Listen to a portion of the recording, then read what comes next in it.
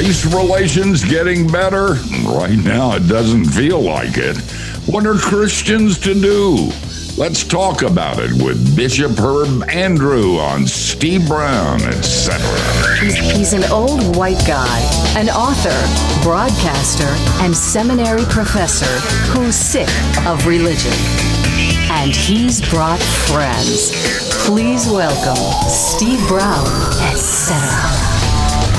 That's the name of the program, and I'm Steve, the aforementioned old white guy. We are so glad that you're here. You always have a place at our table, or as it were, in the living room of our homes from which we are all broadcasting. Our favorite megachurch pastor, Zach Van Dyke, is here.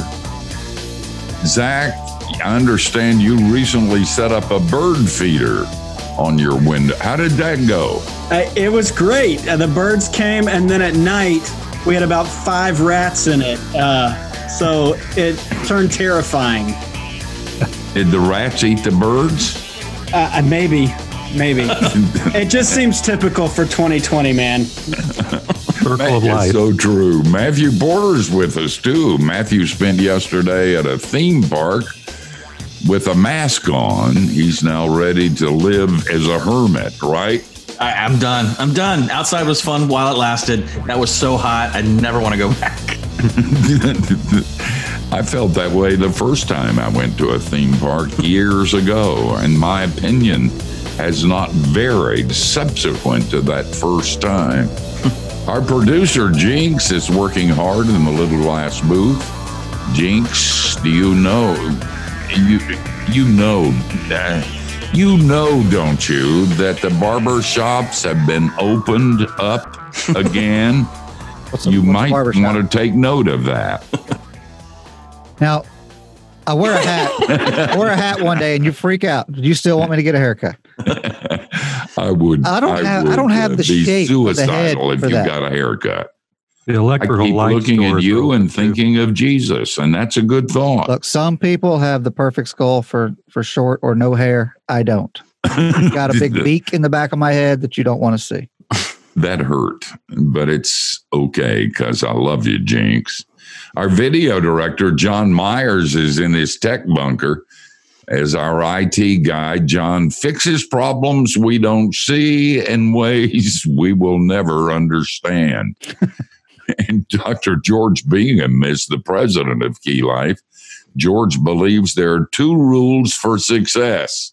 Number one, don't tell everything you know. And Kathy is the what? well, you got to is to repeat to that. that. I had Did I miss the? It. I missed the second one. I was waiting for that. Well, the first one is don't tell everything you know. Yeah and that makes sense when you say nothing about the second one. It loses something in an explanation. Just a little. Trust me, people we, have to explain things to me, and I know that. we just totally killed Matthew's joke there. Like we made it not. Took funny. most of the morning, guys. Right. All good. And Kathy Wyatt is the soft feminine side of the program. Be on the lookout for Kathy's new cookbook, Irresistible Taste recipes for the reformed. Sounds good. When will it be out, Kathy? Well, if this pandemic continues, it could be a lot sooner than I thought. Plenty of I got a lot of free time on my hands. You think we can get Kathy on the show for an interview? and we'll interview you when your there you go comes out. And speaking of interviews, um, our guest today is one of our favorite people. We love this man. Uh, you can go to our website and check out the Grace conferences. He spoke at those conferences with great power and wisdom and depth. He began his ministry at the age of 30 and preached his first sermon in 1993. In 2001, Herb received a Bachelor of Arts degree and then went on for further education He's released several powerful audio series and video series. You ought to check out Kingdom First Ministries. and he's a broadcaster and currently serves as pastor of Beacon Light Baptist Church in Houma, Louisiana. Herb, am I pronouncing right. that right? You got it right. I'm I'm I'm impressed, Steve. I didn't even I tell have him. enough Southern impressed. genes in me to do it right. yes, sir. We appreciate you and you're taking your time to come on with us. These are hard times. And if uh, you're a Christian and these times don't break your heart, something's wrong. Uh, the problem is that it's hard to get in the skin of another person, even if they're your same race. But it's really hard to understand across racial boundaries. And because the bishop is um, incredibly insightful and gentle and kind and wise and biblical and orthodox, um, we decided to go to him and to sit down and to uh, and to talk and listen and maybe have a conversation about what's going on. Herb, thank you so much for being with us. Thank you, thank you, uh, thank you for for the invitation. I'm very excited about uh, sharing with you guys today. Uh, uh, miss you guys since the Grace Conference. It's it's been way too long, but um, we we are we are um, we are in the midst of some very very very very challenging times. Some very very challenging times. Herb, you've been around for a good while. I mean, you mm-hmm. didn't start this yesterday. So you've seen some really bad stuff and maybe even some really good stuff. You certainly have seen some changes. I wish you'd talk to us a little bit about some of the things that are happening. Herb lives in the deep south, and uh, most of us are Southerners. Well, when when um, you know when as, as, a as a as a black man who um, who has uh, two black sons, um, two uh, grandsons as well, uh, you know, I, I'm very very concerned I'm, I'm very concerned, um, not fearful, uh, not fearful because um, I, I, really believe that that um, God covers. God covers uh, uh, my kids. I plead the blood of Jesus over my family daily. So I'm really not concerned um, that something um, tragic will happen to any of my kids, any of my family members. But I'm concerned because there's so many others out there who who may not um, who may not have have a covering uh, that that will speak and that will apply the protection of God over their over their loved ones and and um, experience things such as uh, Mr. Floyd experienced on last week. Um, you know, personally, um, as I as I uh, watch that, I'm, I'm normally I'm, I'm usually very good at processing things um, without becoming overly emotional. Uh, but I, I, must confess that as I watched and observed what happened to this this man, um, it it literally broke my heart. Over these last over these last two weeks, I probably have cried more over these last two weeks than I have in a long time. In a long time, and um, the tears are are not or not again. It's not necessarily um, uh, tears of um, hopelessness because I, am a believer that there's always hope, and I, I believe that um, even as as we have made changes to this point, uh, the the the problem the problem I believe lies in the fact that the changes only come as um, as behavior modification. And and as long as all we're doing is is is changing behavior because of outward pressure that change will never be lasting. The change that we need right now um, you know i i, I believe it's going to take a holistic effort there's there's no one component of our community that's going to effectively uh, be able to bring about the kind of change uh, that we need. And when when when all of us when all of us begin to respect each other's uh, the role that we have to play in this, um, when we understand that these protesters, these activists, we may not like them, uh, we may not like the fact that they're out there, but they are needed. They are needed. They are so needed. Um, and, and, of course, I, am speaking of the peaceful protesters. Um, so, so you know, they're, they're needed, and and not only are they needed, there there are other segments of the of the community that that all must come together in in order to uh, bring about and facilitate uh, the type of change uh, that that I believe each of us uh, desire, and the type of change that I know God would desire to see uh, in this world. You know, I wish I wish that the whole world could hear what you're saying. I think that's so wise. Outward change that is forced, uh, whichever way it goes, uh, doesn't last and isn't good. And when we come back after the break, I want to talk to you some more about that. I believe we Christians have something that is needed desperately as a part of this conversation, but we're not cool anymore. So people don't listen so much anymore. And that's sad, almost sadder than the riots and the racism and the division and the hatred. But we'll continue the conversation on the other side of the break. And if you go anywhere, before we get back, you're crazy.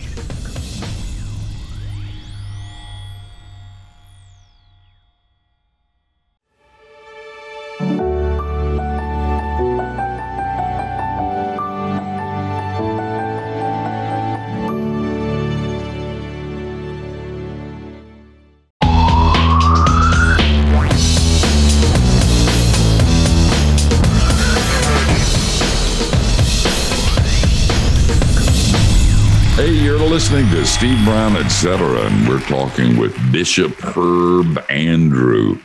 You can follow him, by the way, on Twitter at Pastor, but Pastor spelled funny.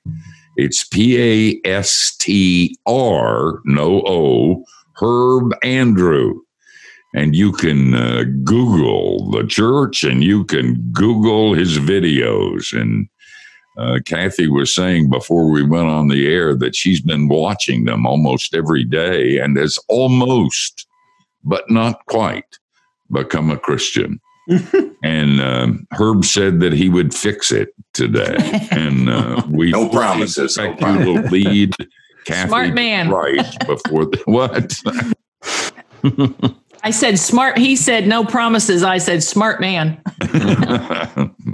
Matthew. Uh, yeah, Bishop, before the break, you made a really uh, powerful observation about the difference between changing behavior and and changing hearts. That seems relevant when it comes to kind of the online discourse that we're seeing. It's it's an interesting thing because when you see kind of ugly uh, points of view and, and hateful statements, there's a large part of us that goes, no, I don't want to hear that. You guys need to keep that quiet. But there's another part of in my secondary thought where I'm like, you know what? No, if that's what you believe on a, on a certain level, I want to hear it because I want to know where you are and, and, and, and where you're coming from. Not that I, I think, eh, not that I agree with anything, but I feel like if there's an unpopular opinion, we shouldn't suppress it. We should engage it when we're able to. Is there anything to that? Well, I, I believe I believe that you're you're on to something, Matt uh, Matthew, because um, you know we're, we're living we live we live in a world of political correctness. So so so you know when people get angry, oftentimes now you're really hearing what they really believe and how they really feel.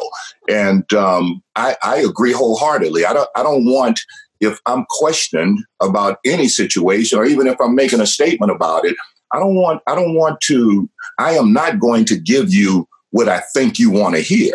I, I, I believe that um, in order for a real conversation to take place, uh, you you you would benefit from knowing exactly how I feel about uh, any given situation. So uh, the fact that um, uh, ugly things may be said and and um, the fact that uh, aggressive statements may be made. Um, you know, we may not agree with them, but we have to honor. Uh, we have to honor. Um, we have to honor the feelings of those who make those statements. Mm. And and when you when you look at when you look at what we're dealing with right now, you know, I, my, one one of my one of my biggest concerns is is I understand that America is a Christian a Christian nation. It's a Christian nation. And, and being that America is a Christian nation, I begin to look at this and I begin to think from the perspective of um, even statistics from last year. Statistics from last year indicate that 65% of Americans are, are, are, are professing Christianity. So that's 6.5 out of every 10 people say they're Christians. And that's the declining number. So so you would figure 10 years ago that number was even higher. So that would that would suggest that that 10 years ago 7 out of every 10 Americans profess Christianity. So with that being said, that would say to me that this what we're dealing with mr floyd he's not the first. This stuff has been going on for years. This stuff has been going on for for quite some time. And because it's been going on so long and because so many of us profess to be christians now for me it turns the it turns my attention to the church. Because if if 7 out of 10 americans are christians then that would suggest that some of the perpetrators of some of the ugly things that we've seen, some of them have done this claiming Christianity as their as uh, uh, claiming claiming Jesus as their savior. And I, I don't question anybody's salvation, but the point I'm making is that goes to what we're teaching in our churches, because what we're teaching in our churches is obviously bringing about behavior modification and is not touching our hearts. The only thing that can touch a man's heart, I, have learned this over the years and I've seen it experienced. The only thing that can touch a man's heart is the true gospel of grace. Mm-hmm. Not going in that Bible trying to figure out what I need to do to be considered good, but going in that Bible to find out and understand what Jesus has already done for me to make me good. Hmm. And as I get a revelation, the Bible says it in, in uh, 2 Corinthians uh, 3 and 18, I believe. See, see, we, we, we keep going for, for this, this outward change. Man, if our churches, and this is what breaks my heart, it, it, you know, what breaks my heart, the bottom line is some change is going to come. Some change is going to come. The protesters, uh, the politicians, it, it's, it's, it, change is being forced. But here's the key Here's the key. Is that going to be real change? Is that going to be real change? Second Corinthians 3 and 18 says it like this that if we with unveiled face behold the glory of the Lord, who is the glory of the Lord? That's Jesus. He says, then as we behold the glory of the Lord, we are then transformed into that image of Jesus that we're seeing. But it's not being done by our efforts. It's an inward transformation, the Bible says, that takes place by the Holy Spirit from glory to glory. So if if we as pastors, and this this this is who I'm pleading with, I'm pleading with the pastors. If we as pastors, especially, and and and, and hopefully we can deal with this further along, but especially my white brothers, we got to make sure that we are lifting up Jesus before people. Mm. Not not telling, not making people believe that because your business is successful, you're a good Christian. Because you pay your tithes, you're a good Christian. Well, that means I could pay my tithes, consider myself a good Christian, and then put my knee in a man's neck mm. until he dies. Because, because my actions of tithing in Christianity says I'm good, but my heart hasn't been changed. Mm. And if we lift up Jesus, we we've gotten we've gotten too creative. We've gotten too creative in our pulpits. Paul says, I'm afraid that that just like the serpent deceived Eve, he said, I'm afraid that that that you all have been deceived as well from the simplicity that is in Christ Jesus. Mm. It all goes back to putting Jesus back in his place. Mm. That's good stuff and very uncomfortable stuff too. Uh, you know, if you think that your business is going well and that makes you a good Christian, or you tithe, or you picket and protest, or if you hurt people that you think are hurting others, uh, and politically, all of that, they'll make you feel self righteous. Only Jesus will make you feel the way you ought to feel. We're needy and we're sinful. And without Him, no change takes place except that which is forced on the outside. Hey guys, don't go away. We're with Bishop Andrew, and this is good stuff.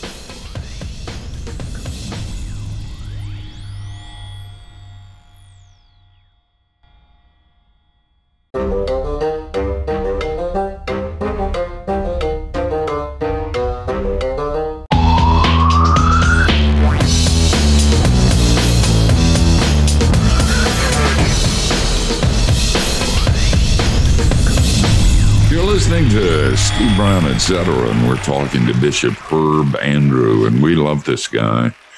We love him because uh, of not only what he preaches, a wonderful preacher, but he gets this stuff down deep and it blows me away. He's a friend of Key Life and the pastor of Beacon Light Baptist Church in, in Houma, Louisiana.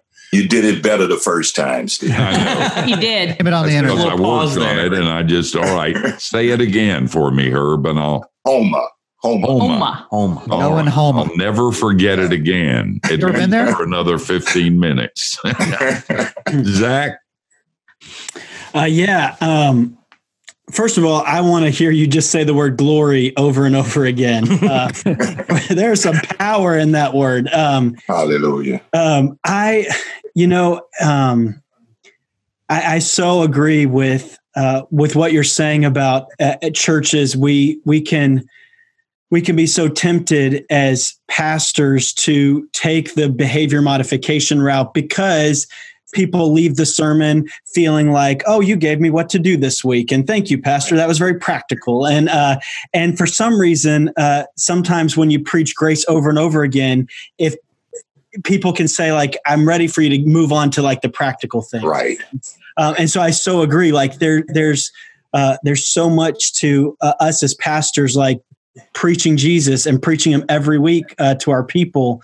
Um, and and I guess my question is, um, as a as a white preacher, um, it, about three years ago, it it hit me um, that um, that I was in some ways oblivious to a lot of um, a lot of the um, the extent of racism in our in our in our country because I thought, well, I love people and I want to be kind to everyone, and you know, we're all equal at the foot of the cross, and um, and you know, racism is like those people, and um, and and I was really convicted, realizing that that's that's not the case, and and so I began to just kind of read and listen, and I realized that all my theological influences up to that point had been old dead mm-hmm. white guys and um, and how much like i missed out on not um, having uh, other brothers and sisters in christ uh, who are different than me kind of speak into my understanding of god and grace and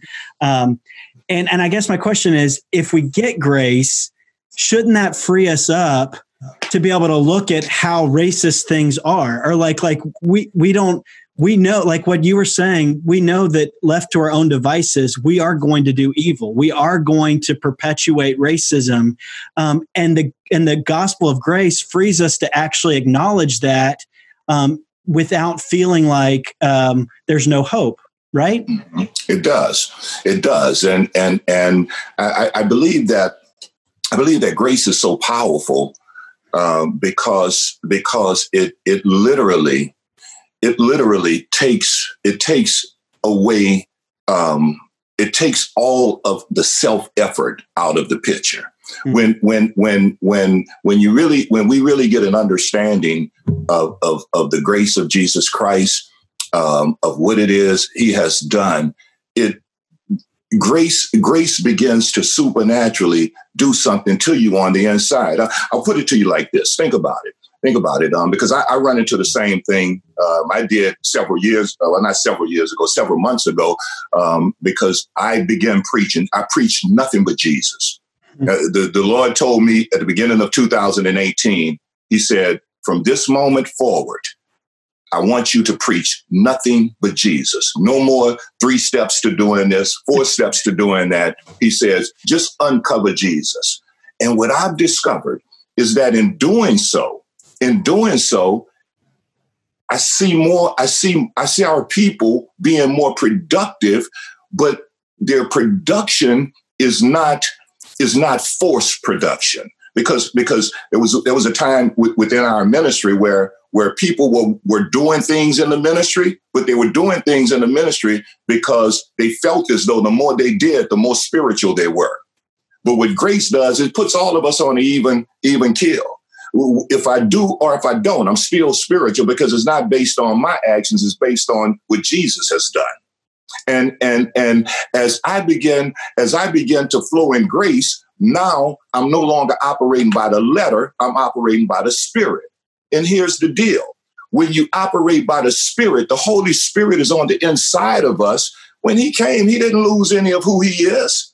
So now you don't have to tell me to love people. You don't have to tell me don't murder a man.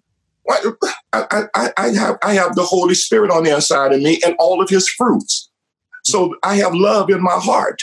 So with love in my heart, you don't have to tell me don't don't hurt a man, because the love that's in me will will push me to want to do it, not because somebody is looking, but it'll push me to want to do it because I'm being transformed into the image of Jesus that's presented to me every week. Mm. And oh. that's that's our challenge. That's good stuff. And not only does it do that, it uh, takes away the need to have barriers. You don't have to defend yourself anymore. No. You don't have to pretend to be something you aren't, and you can do kind of what Zach was talking about. You can open your life to input from places that aren't normal, right? That aren't you, that aren't defined in the way you define things. Uh, once grace starts, you don't have anything to protect. You don't have it. You have. You don't have to pretend anymore you know that if anything happens, it's Jesus that does it. Already covered. Yeah, and it's covered. That's right. We're talking with Bishop Herb Andrew, and you don't want to miss a bit of this.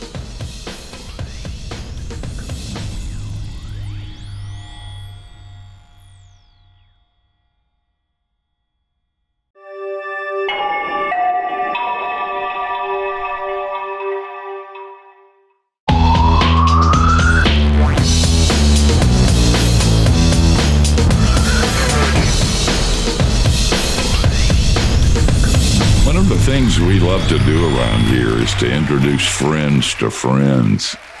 And uh, you're getting a chance to meet uh, Bishop Andrew, and and uh, you're beginning to see one of the reasons why we love him so much. He so smells like Jesus, and uh, you know he can say harsh things, and he can say it in such a way and with such gentleness and the Spirit can apply it in such a magnificent way. And He's doing that for us today.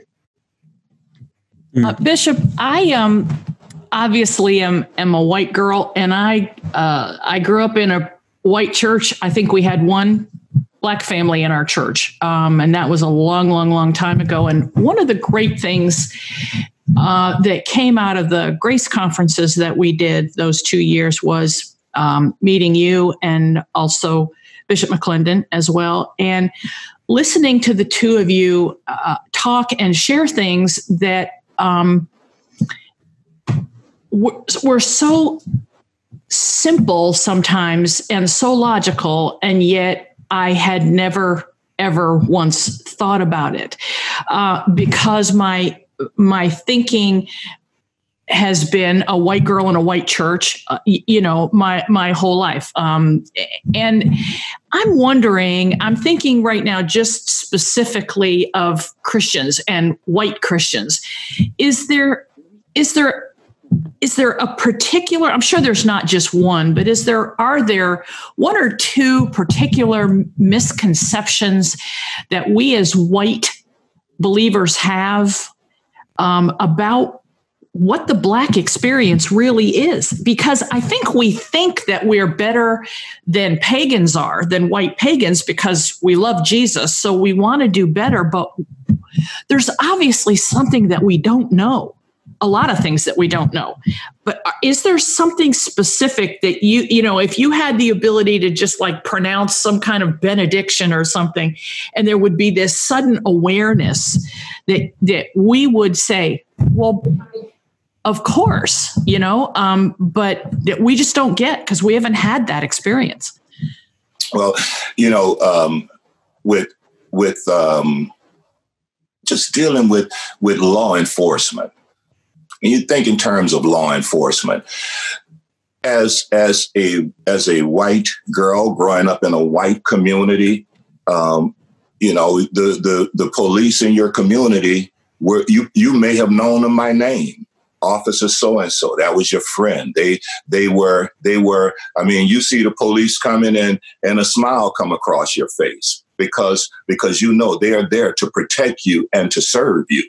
But and it's and it's hard. It's hard when when when you have dealt with officer so and so and they've been so kind and so gentle and so loving to you.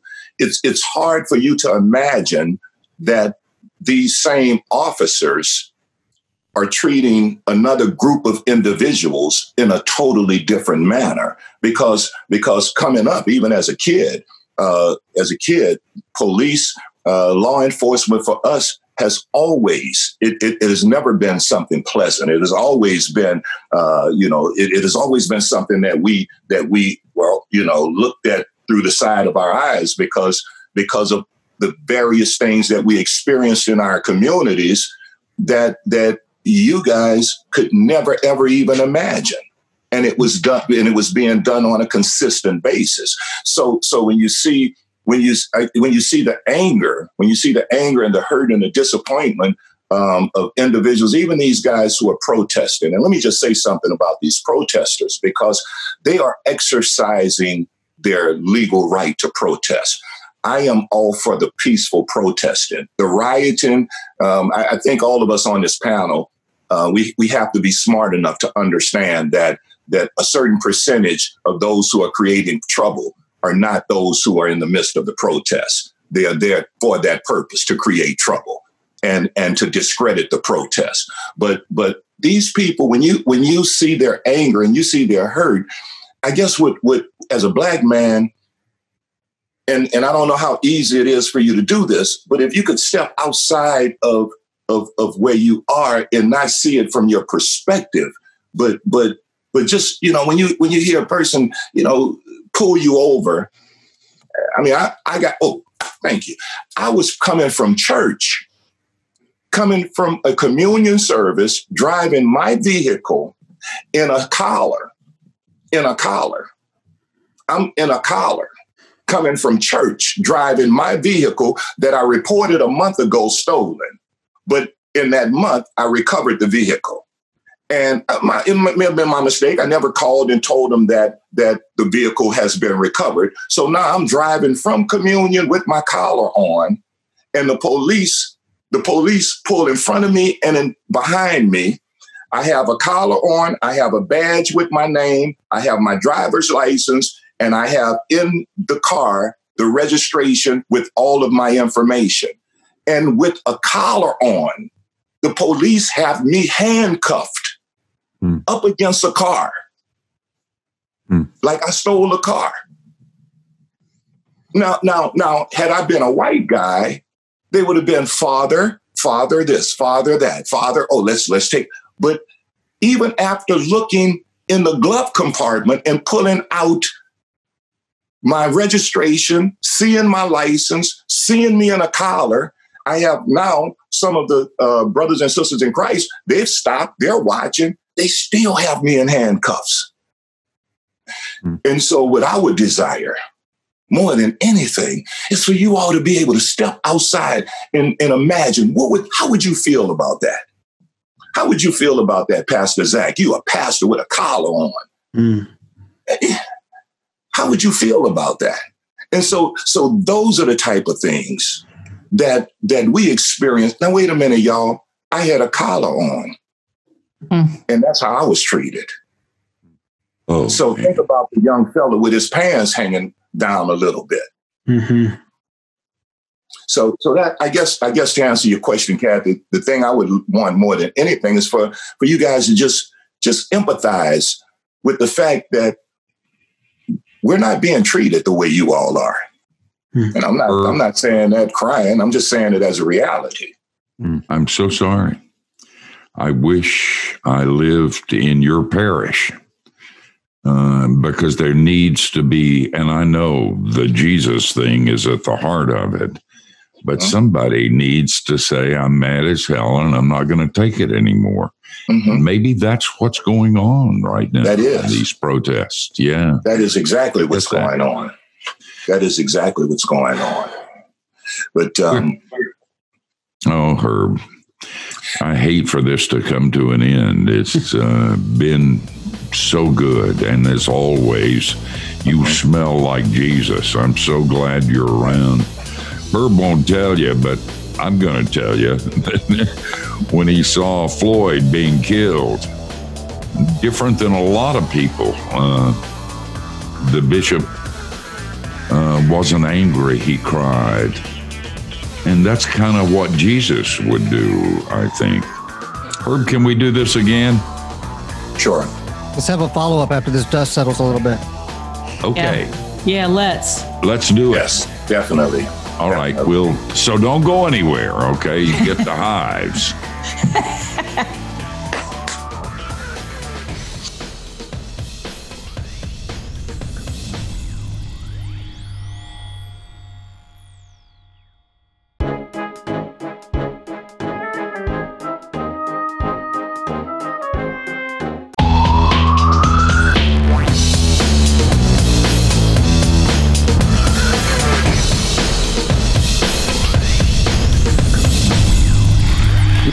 spending this last hour with uh, Bishop uh, Herbert Andrew, and uh, in many ways, it's been profound. And we're going to do this again.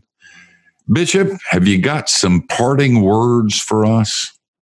Well, um, I appreciate uh, this time uh, with you guys. Um, I, I, just I, I know that change will manifest. There's no question in my mind whether or not that will happen, but I'm believing God for um, lasting change, for heart transformation, not just uh, behavior uh, modification. And, and it's going to take a team effort. The protesters, again, peaceful protesting is good. The politicians, policy is good. Uh, prayer warriors, keep praying. That's good. But the challenge that I offer is to the pastors. I, hmm. off, I challenge the pastors to stop suppressing the truth of God's word the grace of God is the gospel of Jesus Christ. And when the gospel of Jesus is preached, trust me, it's more practical than we think. When the gospel is preached, God then brings about change from the inside out. That's what he's done in my life, and that's what he'll do in the lives of your, your congregants as you lift up Jesus before them. So I challenge the pastors to do just that, and we'll see the change that we desire. Mm. Bishop, thank you so much for taking an hour with us. That means a lot to us mm-hmm. and to our viewers and our listeners at the radio stations and on the video on YouTube. We hope we can do it again really soon. For sure. Guys, look forward to it. Really do. I uh, Herb is the only guy I know has a voice better than uh, deeper than mine, hmm. but I'm better looking. I'm, I'm, I'm glad you clarified that. deeper, not better. Just maybe deeper, but not better. Just one. Oh man. Uh, this has been a special edition of the Etc. program, and we felt it was important that we discuss some issues that are on everybody's mind right now. And as uh, Bishop Andrew said, get on your knees, go to Jesus and say, I'm here. I'm not much, but I'm yours. Open my eyes. Let me see you more, and then love the people to whom you sent me in a better and uh, deeper way. Got to go, guys. We're going to come back same time, same place next week. Between now and then, don't do anything we wouldn't do. and that gives you a wide, wide berth.